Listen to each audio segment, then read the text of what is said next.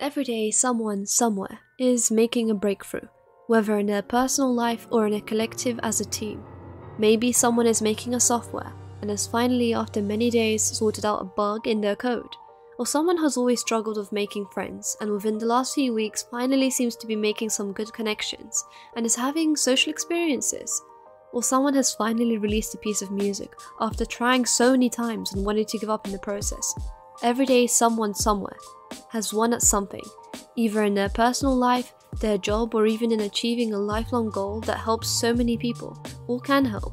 Yet it's so hard to not get fixated on our limiting worldview, only to what we have done or haven't done as an individual. Realizing that we are not the only ones trying to achieve something in a bigger picture or scale of things is really uplifting. Realizing that we are not the only ones who care about making some sort of progress towards better things. Collectively, there are so many people getting through walls and roadblocks every single day, all around the world. These days, we're lucky to be able to witness so many people's progress online.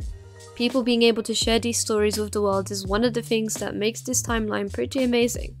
Yes, there are bad things everywhere, foundational flaws to how things work, and awful situations, of which some we have no control over. But this is reality, we can only work towards good things starting from ourselves, and outwards a little radiance of influence that we can expand slowly. We can choose to see the bad with the good as reality is, or fixate on either one and get an inaccurate view of how the world really is.